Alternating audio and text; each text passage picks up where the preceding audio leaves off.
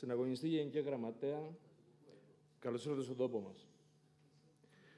Καλώς ήρθατε σε έναν τόπο που χρόνια τώρα ακούμε διάφορους επίδοξους σωτήρες, εποχούμενους αλλά και γηγενείς, να τον περιγράφουν ως τόπο ευλογημένο από το Θεό, πρικισμένο από τη φύση, προνομιούχο γεωπολιτικά.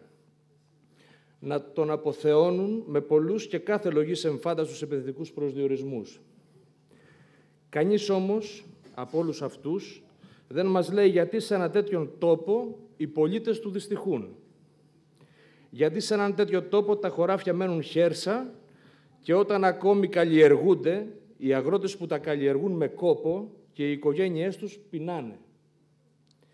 Κανείς δεν μας λέει τους λόγους και τις αιτίες που ο δευτερογενής τομέας, η μεταποίηση, που μέχρι και πριν μερικά χρόνια απασχολούσε χιλιάδες εργαζόμενους στα καπνεργοστάσια, στα κεραμιδαριά,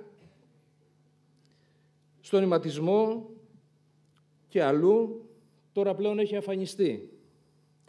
Κανείς δεν μας λέει γιατί αυτός ο χαρισματικός, ο ευλογημένος και προνομιούχος τόπος δεν είναι προορισμός και ο τριτογενής τομέας είναι άγνωστη λέξη εδώ. Γιατί ποτέ κανείς τελικά από όλους αυτούς που με, που με συνέπεια υπηρέτησαν και υπηρετούν μέσα από τα πολιτικά κόμματα στα οποία ανήκουν, τις πολιτικές που απαξιώνουν τον τόπο και φτωχοποιούν τους πολίτες, δεν μπήκε στο στον κόπο να δώσει μια στοιχειώδη εξήγηση, να αναλάβει έστω και τυπικά την ευθύνη.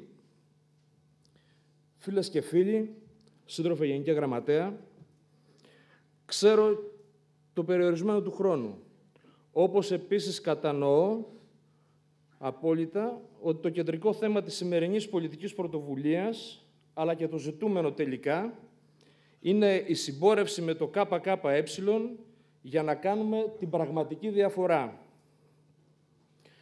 Δεν μπορούσα όμως να μην αναφερθώ έστω και επιγραμματικά σε όλα αυτά.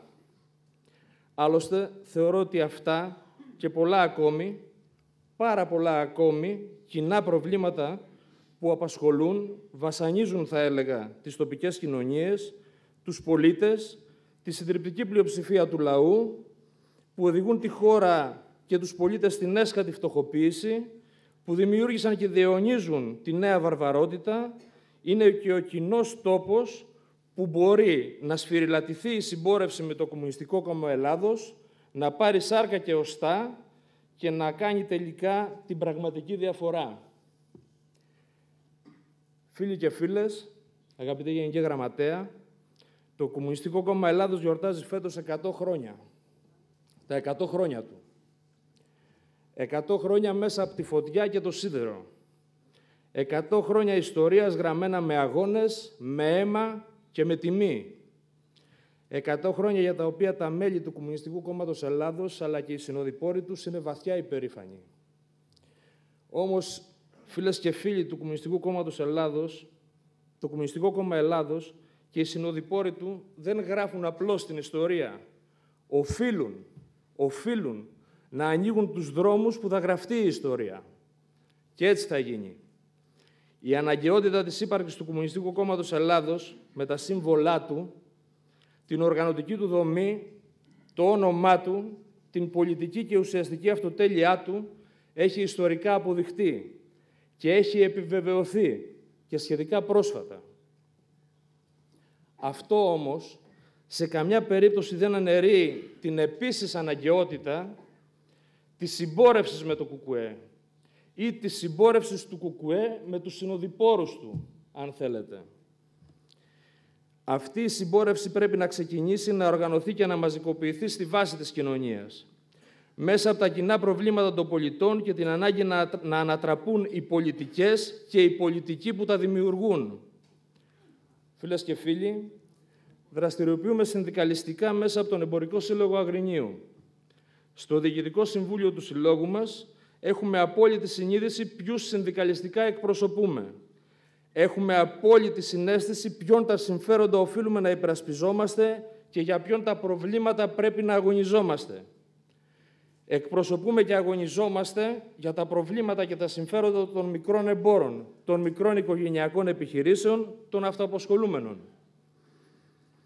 Προβλήματα κοινά σήμερα με αυτά των ιδιωτικών υπαλλήλων, των μικρών αγροτών, των δημοσίων υπαλλήλων, των εργατών, των επαγγελματιών, των μικρών ΕΒΕ.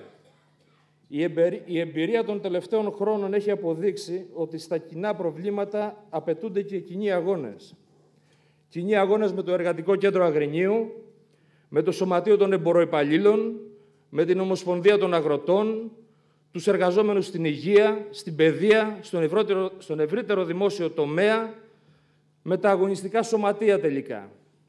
Κοινοί αγώνες απέναντι στα προβλήματα, αλλά και απέναντι στον κυβερνητικό και ξεπουλημένο συνδικαλισμό, απέναντι στους θεασότες της κοινωνικής ειρήνης και των προσχηματικών διαλόγων. Ζήσαμε στην πράξη ότι όταν συμπορευτήκαμε και αγωνιστήκαμε από κοινού με όλους αυτούς, τότε και μαζικότητα είχαν οι κινητοποιήσεις μας, αλλά και διείσδυση στη συνείδηση των συναδέλφων μας πετύχαμε. Θεωρώ λοιπόν σήμερα ότι αυτή ακριβώς η συμπόρευση στους κοινούς συνδικαλιστικούς και κοινωνικούς αγώνες μπορεί να είναι και μια ουσιαστική και ρεαλιστική βάση για την πολιτική συμπόρευση των πολιτών και των φορέων, με τις και των φορέων αυτών με τις πολιτικές δυνάμεις που στέκονται απέναντι και αντιμάχονται όλους αυτούς που έχουν την αποκλειστική ευθύνη της έσκατης φτωχοποίησης και της απάνθρωπης βαρβαρότητας που βιώνουμε. Το Κομμουνιστικό Κόμμα Ελλάδος αναλαμβάνει σήμερα την πρωτοβουλία και καλεί σε μια τέτοια συμπόρευση. Καλεί όλους τους πολίτες που δεν σκύβουν το κεφάλι, ακόμη και αν δεν συμφωνούν σε όλα μαζί του, να συμπορευτούν και να παλέψουν από κοινού για να ανατρέψουν τα πάντα. Θεωρώ την πρωτοβουλία αυτή θετική, ρεαλιστική και ικανή στο βαθμό που θα βρει την μέγιστη ανταπόκριση να φέρει τα πάνω κάτω στις πολιτικές εξελίξεις προς όφελος του λαού και του τόπου.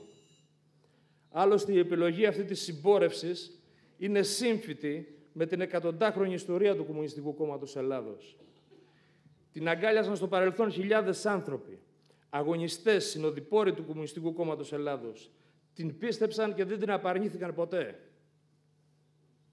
Κάπως έτσι δημιουργήθηκε το ΕΑΜ, ο Ελλάς, ο Δημοκρατικός Στρατός, η πρώτη κυβέρνηση του Βουνού, ο αντιδικτατορικός αγώνας.